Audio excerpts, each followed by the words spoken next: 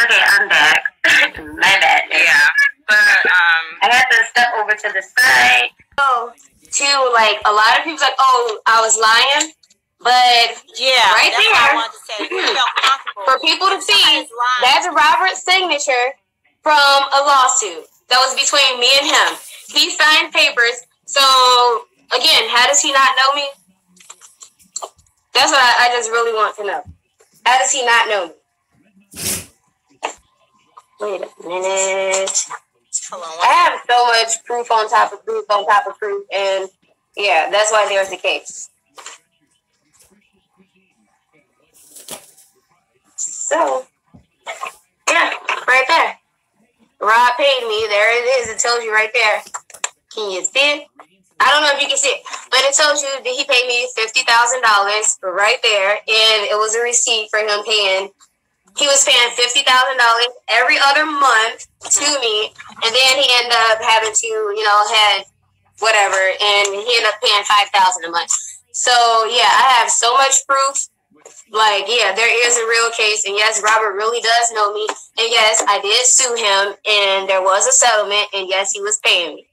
So yeah, if I was lying about anything, there would not be a case. It's with Derrel McDavid name on it.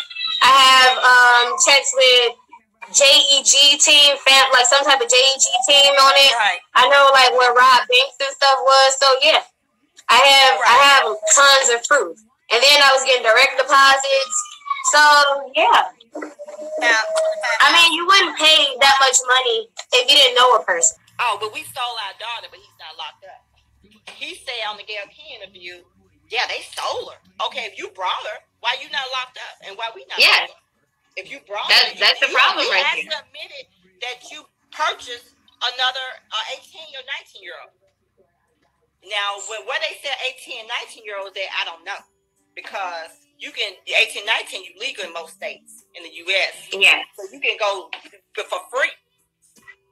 So if he, we stole It's just a lot of it's a lot of It's a drama, lot lots of of- lies, lots of BS. it's, it's not, um, So I have tons of proof. And people have asked me, well, what do you have on him? And I'm like, I don't have a problem showing you my proof that I Oh, thank you. My book, it was hard for me to write because I actually had to talk about my uh childhood sexual abuse experiences. So that that is something that I wasn't quite ready for, but I needed to get all of that out so that I could actually start the proper healing journey. at Yes, Rob. Um, yes, Rob did have herpes, and herpes is um, incurable. So yes, he still has herpes. Can you see it now? It's Michelle. No, Michelle is not suing me.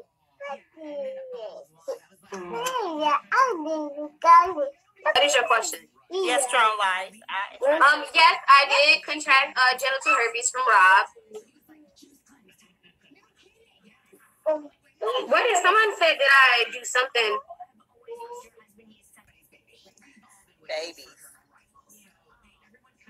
No, the kids do not have it because when you um, have genital herpes, you actually get put on medication.